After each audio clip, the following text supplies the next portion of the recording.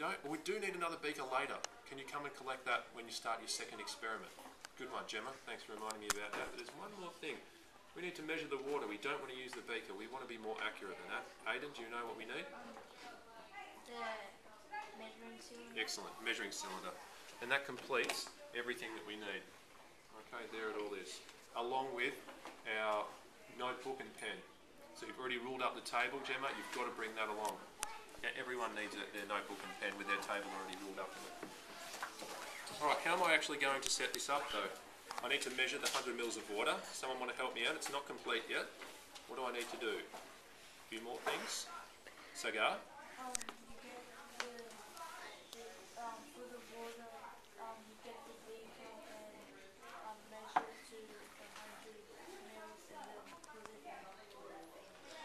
It's actually the other way around. Good try. So I get the measuring cylinder because this is the more accurate device. Fill that with 100 mils of water and then put it in the beaker. Because obviously we can't heat in something that's plastic. We need to heat on something that's glass. So this is going to be doing the heating, and this is going to be doing the measuring. Okay. You need to have it at eye level when you're measuring out using a measuring cylinder, and I'll tell you why. This is our measuring cylinder. Here's the measurements on it. Water uh, has surface tension, which means it's sort of when you have a drop of water on a bench, it makes a dome, doesn't it? It doesn't go flat, it actually makes a little dome. It sticks to things. That's because it's clinging to the bench. If you put a drop of water on your hand and then hold it upside down, it doesn't drop off, it sticks to your hand. So water's a little bit sticky. And when we have water in a measuring cylinder, it actually looks like that because it sticks to the sides of the measuring cylinder. This is called a meniscus, and you'll be learning about that a lot more. Yes, Um, do we actually heat the thing? We do, of course we do. But do you have to sway it? No, not in this instance because we have the gauze mat. That's a good question. Because we have the gauze mat, the, the bottom of the beaker is protected from the hottest part of the flame, and that heat is distributed because of that plaster that's on the gauze mat. Okay, so if we're putting bare glass onto the Bunsen burner flame, yes, we would need to sway. But because we've got the gauze mat, no. Good question. Back to the meniscus, where I want you to read the level of the water when we have a meniscus present is at the bottom of the meniscus, not at the sides, where it's sort of licking up at the sides. Don't read it there. Read it at the bottom. So you'd want to see the measurement for 100 milliliters there at the bottom. Okay, pretty straightforward. So I'm going to fill that up now. And you need to have it at eye level. So you can get these taps to go. I'll show you drop by drop. They're really good. Drop, drop, drop. They're scientific taps, so you can get this as accurate as you need to. So I'm just going to put that under, and I'm going to I'm going to pop down here so I can have it at eye level. So filling it up, getting it close, and then going drop by. Drop, drop, drop.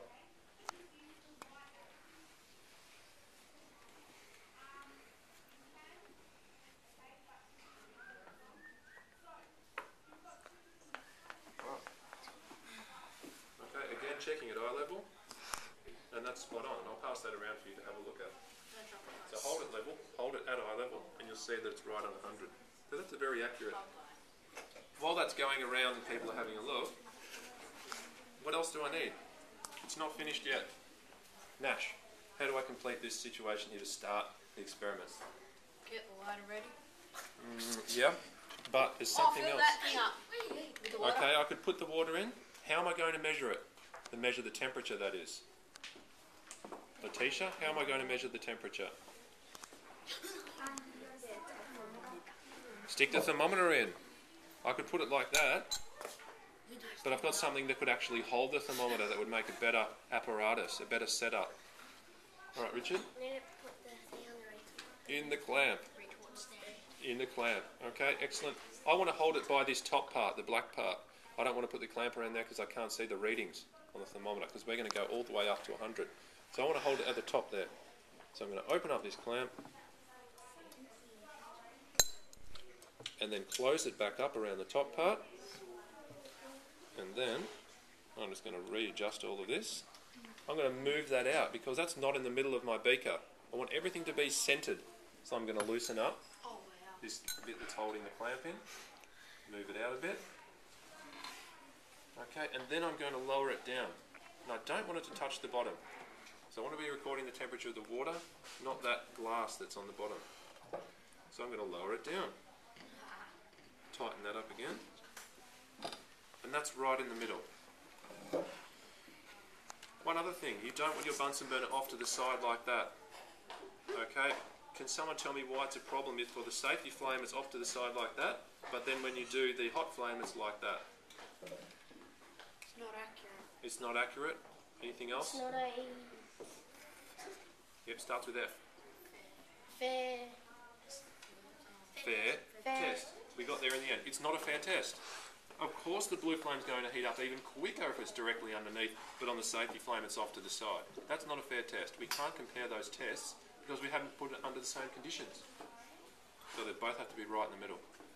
Okay? Or wherever you have it, it's got to be the same for the two tests. Anyway, in the middle is the best place for it. We're almost done. If I could get that measuring cylinder back, actually, no. Thank you very much. And then we're pouring very carefully into the beaker. Now, what would you do at this stage if you spilt some and it went off the side? Tip it all and do it again. You sure would. You tip every drop out and you start again.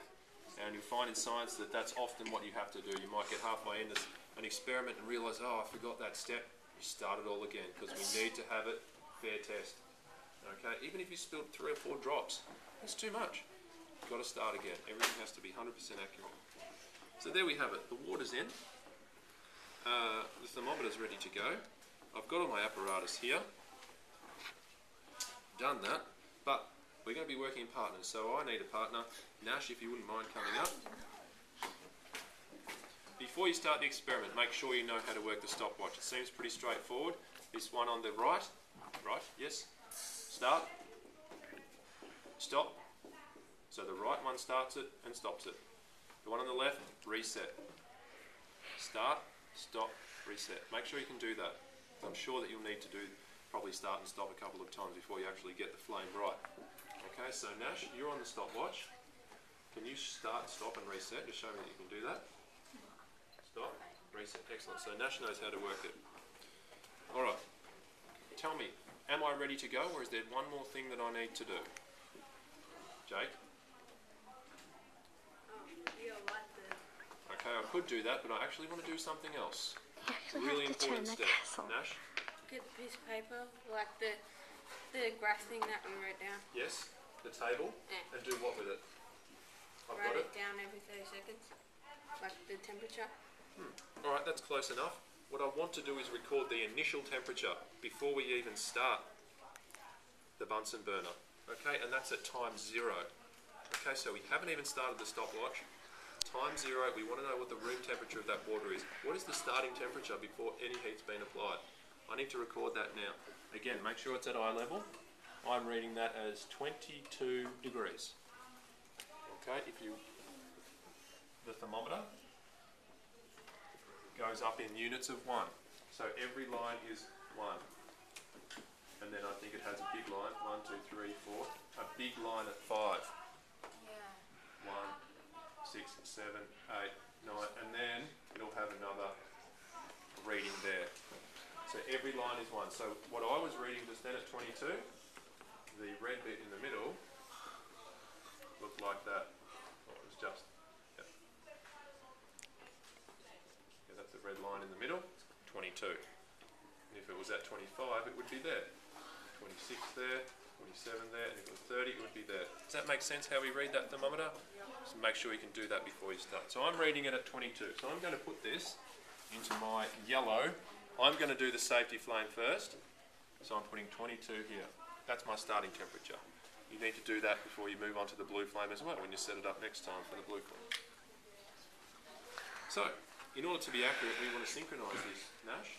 So as soon as I light the flame, you want to hit go on the stopwatch. Okay. So as soon as you see that go up, bang, we're hitting start and then we can be accurate. Okay, so following the steps of lighting a Bunsen burner safely, I've got the flame, making sure my collar is closed, I'm holding over the Bunsen burner and then starting the flame. Okay. Maybe one second delay there, but that's okay. Now, Nash, when it gets to 30 seconds, can you say now? And then I'm going to take a recording. Okay? This is exactly what you need to do. Everything I'm doing here is what you and your partner need to do. So I'm getting ready at eye level. Going up, up, up and up.